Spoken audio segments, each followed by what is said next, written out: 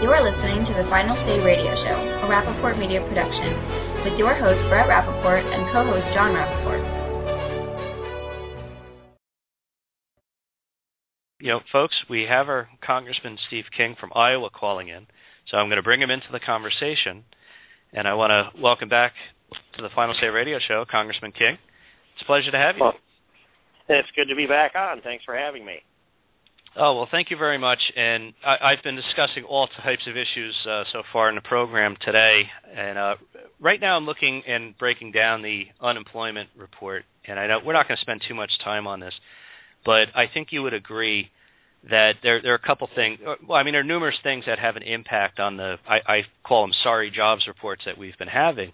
But I think Obamacare has, for quite a while, been having an impact in in numerous ways. I think companies aren't hiring as much as they may have, and I think employees' hours are being reduced, and I think the willingness to invest in a lot of areas is also being reduced as a result of legislation, not just Obamacare, but similar bills as well. What do you think? Well, I certainly think that's true. And, you know, I listened to a presentation by Steve Moore, one of our top economists in the country, uh, here over a, on a retreat that I just came back from and uh, you know he said that there's at least two trillion dollars of capital that's sitting there at U.S. businesses that's not invested. Uh, it might be in bonds. It's just sitting there at the very low, very low return on interest rates because they're hesitant, and the business doesn't doesn't have confidence that this government is going to get out of the way. They're watching as more and more regulations stack up every day, and they, that's something that affects jobs. But on top of that, you know, think of the entrepreneurs and the potential entrepreneurs I remember when I started my construction business in 1975, and we're in the second generation now of King Construction, and that my biggest fear was how do I deal with all the government regulations? And you know, I look back on that now, and I it was, that sounds ludicrous to say that in 2014 that I feared government regulations in 1975, and it was actually was the it was the biggest impediment restraint for me to making a decision to launch a business. And so today, the impediments are much, much greater. And the climate in this country, the business climate, is so much more negative. When you think of a, uh, well, Obamacare itself and, and what that does, you start a business and you think, hey, here they come. If I get to over 50 employees, they're going to bring the regulations. But regardless, I've got to buy the insurance myself, and I've got to keep the cash flow going to pay a, a, a, a heightened premium dollar with less deductibility the uh, the unemployment numbers that are out there, even though we've seen our numbers go, the unemployment rate go down. I think that number was 6.7 percent. Uh, it doesn't. The, the, we are still up there with, and, and by then the number of unemployed are 10.2 million. So that's gone down a couple of million over the last year. That's a that's a good number when you look at it on its surface. But the fact of it is, is that we still have over 100 million Americans of working age that are not in the workforce, and we're still listening to uh, all Democrats that I know of and Republican leadership say, well, we can make our economy better if we just legalize people that are here illegally because they'll do work that Americans won't do. I know why Americans aren't doing that work because we have 80 different means tested federal welfare programs that pay them not to do that work. That's really the bottom line, in my opinion, Brett. That, no, well, well said. And I just want to say this: uh, I, I love uh, Stephen uh, Moore, and uh, I know he's with the Heritage Foundation right now. Uh, just joined them recently, and I, I think that's great. And I'm, I'm laughing because I somewhere on my floor, within a few feet of me, is his uh, one of his newer books, and I just I, I had thumbed through it when I interviewed him uh, month month uh, probably about six eight months ago, but I was starting to go back through it, and I, I read a lot of his work, and I agree with a lot of what he says. Now, I want to get back to some things that you've been working on, and I, I have to say that you know one of the reasons we love to have you on the program is because we want like and appreciate the work that you're doing there, not just for Iowa, but what you do in Washington. And I, I've, you know, I always follow your press releases and op-eds and things of that nature. And you have a few recent ones that I'd really love to discuss with you in a little greater length because I think they're very important, and I think you you've made some, you know, exceptional points. Now, you have an op ed here specifically on uh, accepting Democrats' false immigration premises will lead to the mm-hmm. wrong solution. And this was in the Washington Times. And uh, you, you were spot on on so many of these issues. And, uh, you know, it's funny to me because I, I, what bothers me, and I think what bothers so many Americans with what happens in Washington, D.C., is that often people say one thing, but they're doing something else. And so when the language is continuously stated as you only have 11 million people here, that's the new number, and you've pointed out, well, we had 12 million back in 2002, so how could it only be 11 when we know we've you know had millions more come in? And so, okay, we could argue all day long what the real number is, but we're not being truthful with that. And then one other thing that you raised, and then I'll let you comment on this and, and so much more. But we must fix our broken immigration system, and that is great. I love that you wrote that because it's not the system that's broken, and you have said this so many times. We are not following our laws, and this president isn't specifically. Well, that's, that's certainly true. And both of those uh, false premises that have, have been rolling around here, they just keep regurgitating them, and and uh, if we don't challenge them, then it gets in people's minds, and it falls into what uh, Milton Friedman uh, described as the uh, the tyranny of the status quo. And so they're established by these false premises, which I've listed at 13 of them in that op-ed, um, that the tyranny of the status quo creeps into our minds. And if we don't question and challenge those false premises, then then we have to we we also have to do our calculations on where what we do and how we go forward based upon false premises. Uh, so population growth. Um, I've you know I've watched the I've watched the traffic go over the border. I sat down there at night in the dark and and uh, listen as the vehicles come down through the mesquite and people get out and they come across. You hear the what little fence there is creak and squeak and see the shadows. And if I can go down there on any night and see that, and it's not very safe, by the way. Uh, and we hear the border patrol testify that they think they stopped perhaps 25% of the attempts that cross the border, and uh, they tell us that they've entered the number that they've interdicted turns out to be over a million a year well, then that's four million attempts, and that means three million got through according to their testimony. And you know, some of them will pass away in the United States. That's a fact of the data, fact of, of human living. Uh, some will go back home, but they don't, they don't all go back home. So how does this number not grow? And that's that's just that's one of the pieces that we're dealing with here. And another way to measure this is that they're giving us numbers on now that they say that's you know roughly a static number of illegal immigrants in America, and so if it's reducing, and that's actually where their numbers say it's going from 12 million down to 11.6 or 5 or whatever the number of the day happens to be, well then that's the direction we want it to go. And if it's going towards zero, then we don't have a problem that we need to fix. And of course, I don't think that's the case, but that's using their argument against them, and that's why I put that in there in that way, Brett. Right. Now, here's something I want to throw into the, the, the immigration issue because you know I try to look at things, especially on a federal government level, as is it an issue of national security or something that the states can't handle themselves? And in this case, and I'm only bringing this up because I have quite a few friends who are teachers in and around New Jersey and some other states, and I've noticed a lot more posting of the concern of how many of their current and past and, and you know former students are dying from things such as heroin overdoses and, and, and things of that nature, which is incredibly sad. But how does heroin come into our country? How do these drugs like that come into our country? But even more important, how about things that can cause significant damage, such as taking out one of our cities, like a, a, you know a nuclear weapon or, or a weapon of mass destruction. And I think that's why we are really so concerned about our borders.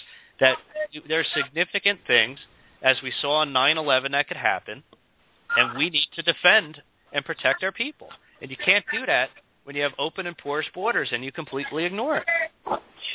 And, and Ron, I just see the report here uh, yesterday that there were they found four more heads that had been severed from bodies in Mexico. But uh, people should know some of these macro statistics that you don't get bandied about, don't get admitted to by leftists or even Republican leadership, and and that is that this is according to the, the DEA, the Drug Enforcement Agency, and it's their job to know 80 to 90 percent of the illegal drugs consumed in America come from or through Mexico. And so if you think of that, it's just take that number to 90 percent. I think nine out of ten, um, uh, 90 percent of the drugs coming across our Mexican border. Well, what would you do if you wanted to dramatically slow down the drugs coming into America? You would secure the border and you see the the, the death on campus from heroin, the the uh, lethargy that comes from all of the marijuana abuse. You've seen how all that more marijuana pouring across the border has broken down their respect for our rule of law to the point where marijuana is being legalized in several states across the country. Um, that's that would not have happened if we had secured our borders and enforced our laws. Our culture would be stronger and more sound.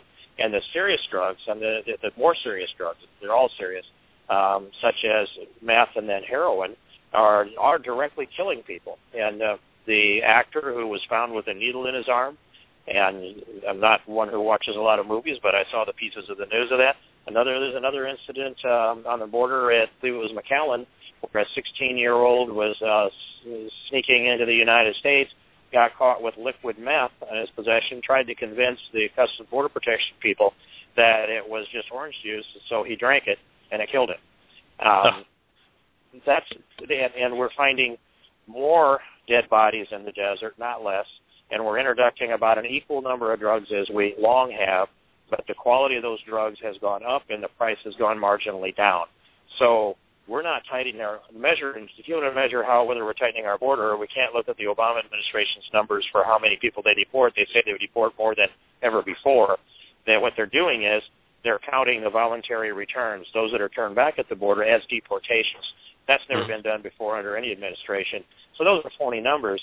But look at the those that we find that died in the desert and the amount of drugs interdicted and that'll tell you that the border's as porous as it's been. There probably aren't as many border attempts because the economy has equalized some. So it is a serious thing, and um, we also have the label of persons of interest from nations of interest, which is a, a government euphemism for people from terrorist countries that we are afraid of.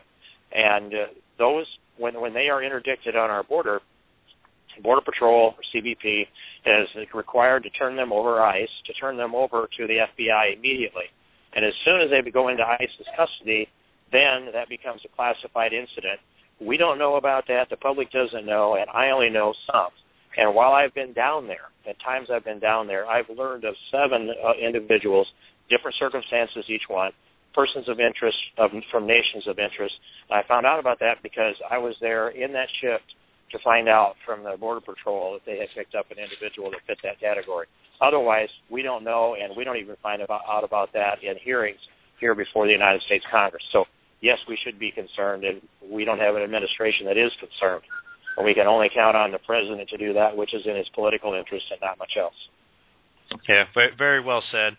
And I, I, I think this is an issue that we should all be working on together. And I, I could just put it this way any any time you see a 13, 14, 15 year old kid or anyone else for that matter that is hooked on heroin or anything like that at such a young age, their lives are often destroyed if they don't die, and that's a that's a, almost a permanent cost on society.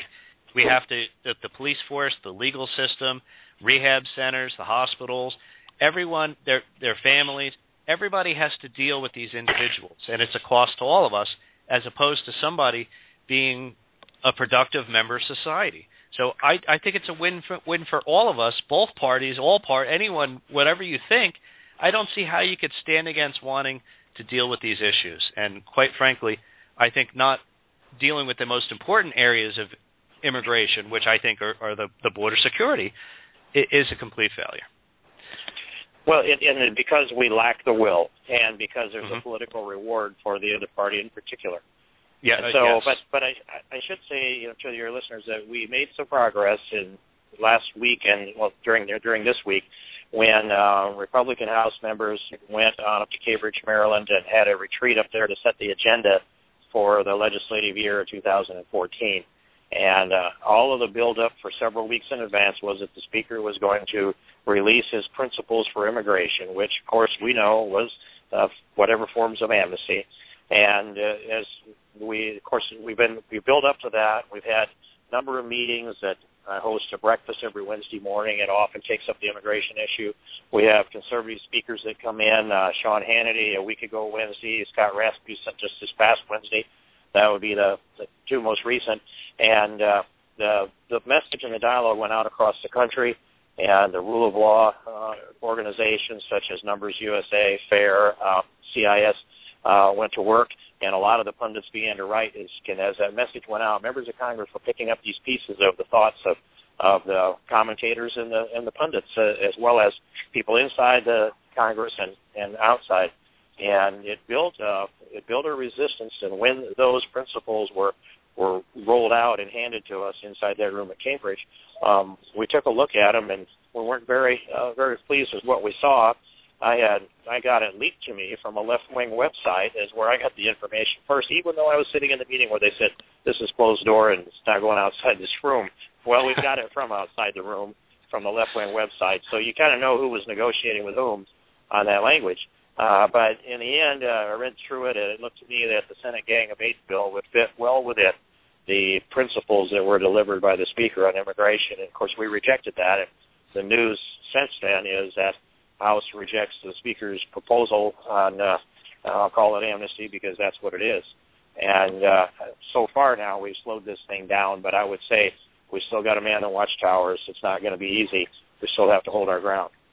Yeah, well, I agree with you, and quite frankly, I think that there are issues that are so much more important. Uh, the economy, I think, is first and foremost, and when you look at the polls, the American people are saying that in a significant uh, polling rate. So I, I think immigration is far down the list of what people think it needs to be addressed right now.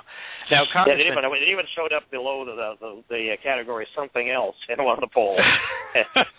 so none of the above beat immigration in a priority list, and that's that should tell him something, I would think. Absolutely. Now, now this is near and dear to you as well, and it has a, a great impact on the people that you represent in um, uh, Iowa.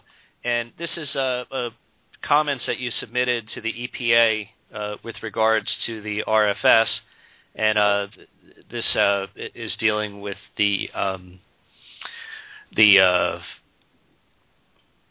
uh, uh, ethanol plants. I'm sorry, the ethanol and the requirements by the federal government.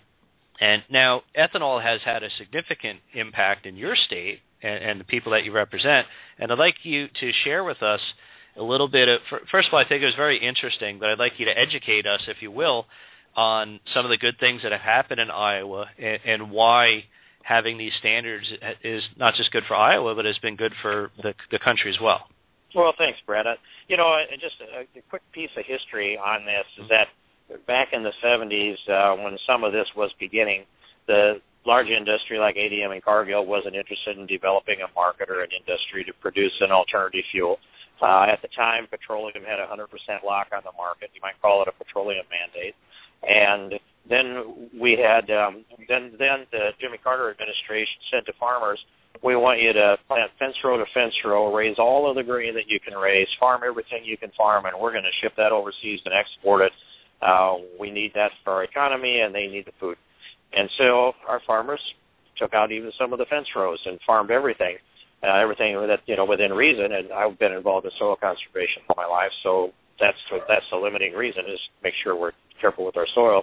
In any mm-hmm. case, the Russians invaded Afghanistan. Jimmy Carter forbid our Olympic team to go perform in Moscow, and he'd be embargoed grain. When that happened, all that grain that we'd produced had no market, and we went into a farm crisis that was launched in about 1979 or early 80, and it lasted the whole decade. Um, we saw land prices spiral downward to less than half of what they were. You could not get out of a downward spiral. It was a very sad and sick time that put a knot in my gut for three and a half years. We made it through. Some of my neighbors didn't. And but in any case, uh, I say this because the markets can go up dramatically and they can go down dramatically. And in each one of those cycles that are there, it's always well. It kind of reminds me of the the Garth Brooks song, "The One the Wolves Pulled Down." They'll, the the weakest among us will fall to the cycles in the marketplace. And so we got to have a farm program that is going to stabilize those markets so that the weak can get stronger and new people can start. And that's the that's the essence of it. Or if you want to just cut right to the quick on it, it is we can't afford to have all of our farmers go broke in the same year. And the result of that would be that mega corporations would own the land and vertically integrate, and then they'd control food prices. So um, we decided in the late 70s, but into the 80s, let's build an industry. And uh, we need to find a better way to market this thing we do well, which is raise corn. Let's convert it to ethanol. We had a fuel crisis then, if you remember, gas lines in 79, for example. And uh, so we built an industry, and part of that requirement was market access. The petroleum industry was not going to let us blend ethanol into gasoline, and and that was the only way you could get it through the nozzle and into a tank and and uh, be able to sell it. So we had to have rules changed at the federal level in order to provide the market access. Um, we got that done, and it turned into the renewable fuel standard, which uh, sets the amount of ethanol, amount of renewable fuel altogether, biodiesel too, that needs to be blended with our gas market each year. It's not a subsidy, but it's a re- it's a requirement that it be blended, and uh, that number was at let's see, 13.64 billion gallons of ethanol to be blended uh, this let's see, blended this year, and the number was to be ratcheted up to I think 14.4 billion next year. The EPA just took it down to 13.01 billion gallons. Sent a chilling message to the industry that capital investment that's out there now is kind of hanging out there, wondering are they going to keep pulling their rug out from underneath. And the, in the petroleum industry, um, yeah, I'm I'm for all energy all the time. I'm not an anti-petroleum guy. And you won't hear me use the pejorative term "big oil" in that way. Um, I, I want them to succeed too, and they've done some tremendous things in the marketplace. But they don't want to have ethanol going through the pumps and the, and the stations that they control. And so they will come after ethanol and try to squeeze it out of the marketplace because they don't want the competition. And so to give you a sense, um, up until this year, these are last year numbers, 24% mm-hmm. of the gallons that go into gas burning vehicles on our roads in America, the, the domestically produced, 24% of the domestically produced gas comes from ethanol. And so it, it has been, it's another market. It keeps gas prices down it gives us energy security, and it keeps us safer from the the risks that go along with the wars that come from interest in foreign oil. So that's a pretty long story through a you know a great big topic, but in the end, it is. Uh, oh, and by the way, the uh, because because ethanol, uh, corn-based ethanol, has has kept our grain prices up there. Livestock producers have generally adapted to that and but but also it has because of the higher grain prices, then it has almost eliminated the call for farm subsidies on on uh, to stabilize our grain prices. And there was a time I had that equation memorized in my head. Um, if they if they want to argue that ethanol pushed grain prices up, then they also have to accept the argument that it eliminated farm subsidies in the process. And by the way, we formally did, did that with direct payments in this last farm bill that the president just signed. We eliminated direct payments, so we're making progress in the right direction to get it more free market, but still uh, have a have a stabilizing influence there, so that the spikes in the marketplace don't pull the weak ones out from underneath us, and we can keep the family operations going. Yeah, there, there was another I thought really important point that you made in that letter, and that's that American capital was invested in risk as a result of a promise that the production of ethanol and biofuels through the RFS should be, you know, be at a certain level in future years.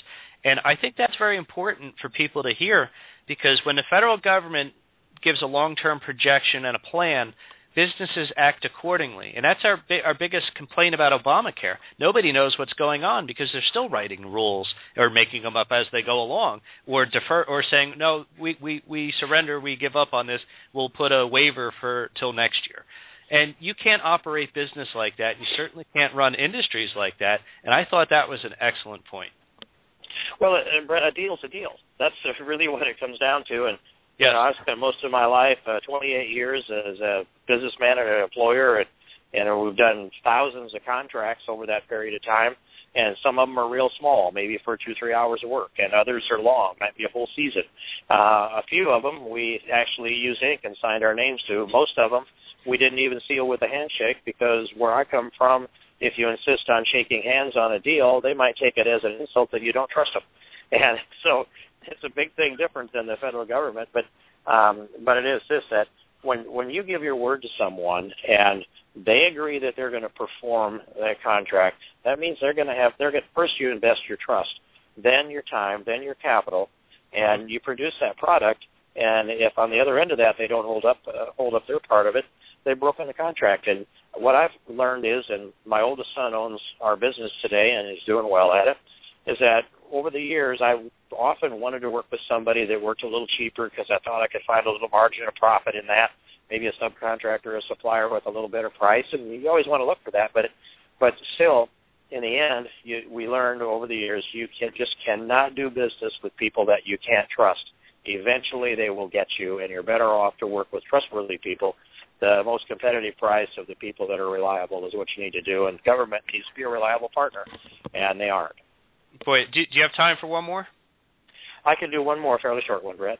Uh, okay, because you, you said trust, and I'm reading an article. This has to do with Iran because I'm not thrilled with the the administration's negotiations with Iran and roll, try, you know, willing to roll back sanctions and give them more time. I think is a mistake. And this article is talking about Iranian warships heading towards U.S. maritime borders. Now I know these are just a couple small uh, Iranian vessels, but they are making a point and almost punching us in the face while we're going on these negotiations that you know you're you're giving in to us and we're showing our increased power. But to me, I, I think that's offensive. I, I, I don't understand what this uh, administration's doing with regards to Iran, and I, I think this is, as foreign policy goes, an absolute failure. Well, all all over the Middle East, we've had a failure foreign policy, and I, I appreciate your remarks. I think that you see it for what it is, and you describe it as what it is. Um, I just um, right before Christmas, I came back from a, a trip that we took. Um, it was uh, Michele Bachmann, Louis Gohmert, myself, Robert Pittenger, North Carolina.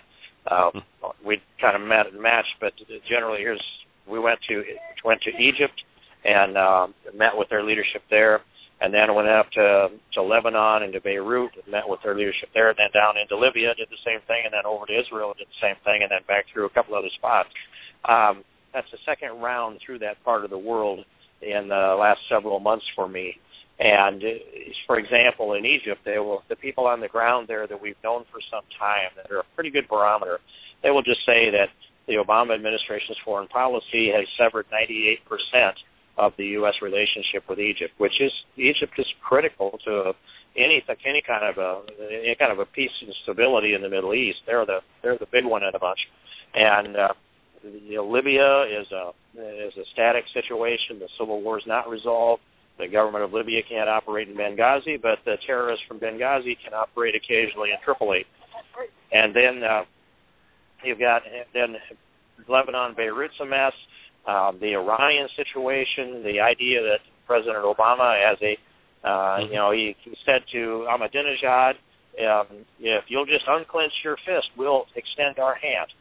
Well, I didn't notice that they unclenched their fist, but we had secret negotiations going on between the Obama administration and the mullahs in Iran, and we find out that the president's cut a deal, and then after he cuts the deal, he he wants to reduce the sanctions, and you're seeing Democrats rise up in the House and Senate against the president's initiative on that. I think it's put Israel in a very bad spot, uh, sitting in uh, Benjamin Netanyahu's office, and and uh, just just watching him and listening to the response to the comments that we had.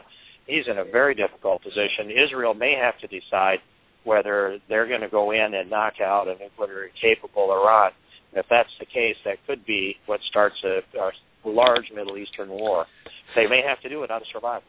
And yeah. that's because of weak diplomacy, the lack of vision on the part of this administration, and the idea that you just don't seem to know or understand that Iran has a motive that's long been to develop nuclear. You're not going to talk them out of it when you give them, when you open up the sanctions, which was at least slowing them down, and then they turn around and they clench their fist at us and sail a couple of ships uh, towards the, uh, you know, towards U.S. operations. That's that is it's defiant, and it tells you they are they they it was they are on the on their tactical path in these negotiations. This benefits them um, to slow down their nuclear operations a little bit, but they're two to three months from a nuclear weapon. They just all they have to do is decide they're going to kick some inspectors out and accelerate their operations, and that's where it is. So, I'm uh, we need a lot stronger president that knows and understands foreign policy. And I will say candidly that I'm not seeing uh, a lot of foreign policy experts emerge in the Republican side, and that troubles me. And I challenge them: uh, get up to speed, and uh, let's let's have a let's have a president that has good foreign policy experience. And it's too bad we have to wait till 2016. Oh, I, I agree with you on absolutely everything you just said. Congressman Steve King, thank you so much for spending so much time with us today. And I just want to give your website so people can go check out some of the things that we've discussed here. Uh, steveking.house.gov. Again, thank you so much. Thanks, thanks for having me on, Brett. We'll catch okay. you another time. I appreciate it. Sure. Good luck. God bless. Thanks. Goodbye. Well, ladies and gentlemen, again, Congressman Steve King from Iowa. I believe that's the fourth district, and uh, great stuff as always, uh, and very interesting.